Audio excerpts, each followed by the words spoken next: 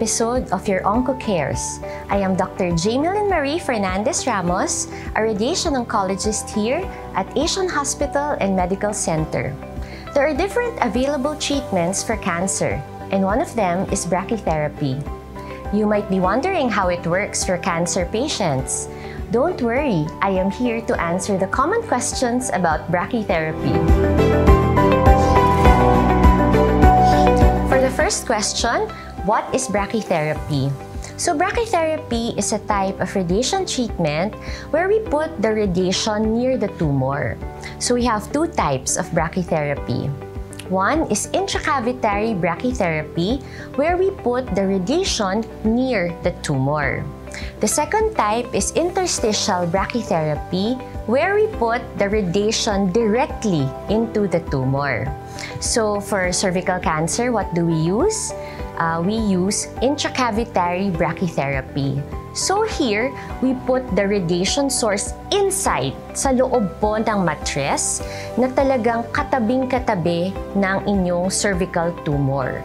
So this way, nakafocus po yung radiation doon mismo sa cervical na bukol. No? So ang kagandahan po nito, uh, mataas ang dose, mapapaliit po talaga natin yung bukol at makakapag-provide po ito ng mas magandang local control. Second question, how is it different from other types of radiation therapy? So the other type of radiation treatment is external beam radiation therapy. So here, yung radiation nanggagaling outside external outside the patient's body. The radiation source comes from a machine, uh, which could be a linear accelerator or a tomotherapy. So versus or compared to brachytherapy, the radiation source is placed inside the body. So when we do the procedure also here, uh, during brachytherapy, patients are placed under anesthesia. So this way, no, the patient will not feel any pain during the procedure. So what do we do? We put the applicator no, inside the mattress, no? Eh, katabing-katabi ng cervix. And after that, nagte-take tayo ng x-ray para doon natin makita saan natin patatamain yung radiation. But we are pleased to inform everyone that at Asian Hospital and Medical Center, we could offer image-guided brachytherapy. So what is that?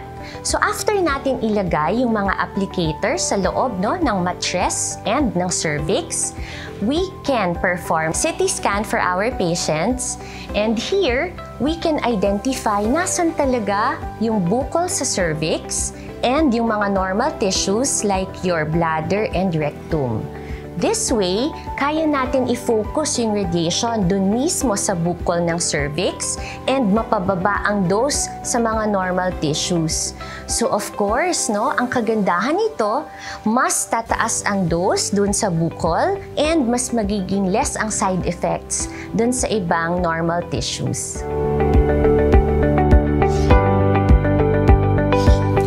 question, is brachytherapy applicable to all types of cancer? Now here in the Philippines, brachytherapy is commonly used for gynecologic cancers. So most commonly for cervical cancer, endometrial cancer or cancer sa and vaginal uh, cancer. Also, brachytherapy can be used for prostate cancer as well. Next question, are there risks or side effects of brachytherapy? So usually, no, after the procedure itself, no, when patients go home, they would normally experience discomfort in urination.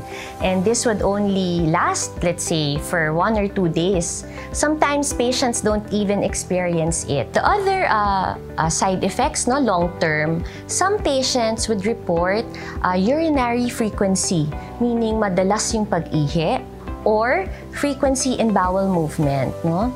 But actually, very seldom do we hear patients no, report on these uh, long-term side effects. So for our patients, no, don't worry. You may or may not experience these side effects.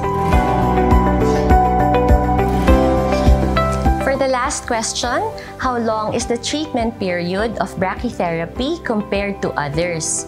So for external beam radiation treatment, it is done daily, Monday to Friday, around 15 to 20 minutes a day. And that would last for around 25 to 30 sessions. Compared to brachytherapy, it is done around 2 hours, uh, performed once a week for 4 sessions. After the treatment itself, patients will have to go to the recovery room for around 1 hour.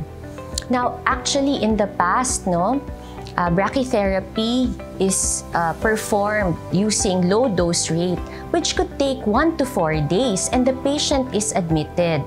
But now with the new machines, with our high dose rate machines, we can perform brachytherapy in as fast as 2 hours in an outpatient basis. So patients can go home after the treatment and spend quality time with their family.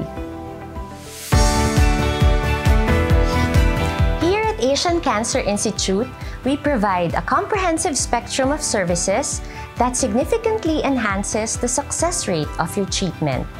Every patient receives the best, integrative, and multidisciplinary cancer screening and management. Under the Asian Cancer Institute, we at the Conquer C Center offer state-of-the-art radiation therapy services with a team of top-notch radiation oncologists ready to serve you. If you have other questions about brachytherapy and other cancer-related questions, just leave your comment down below. And if you love this video, just click the like button and share it with your loved ones. Subscribe to Asian Hospital to get updated on our latest videos. Your Onco Cares, embracing you with healing, comfort, and hope.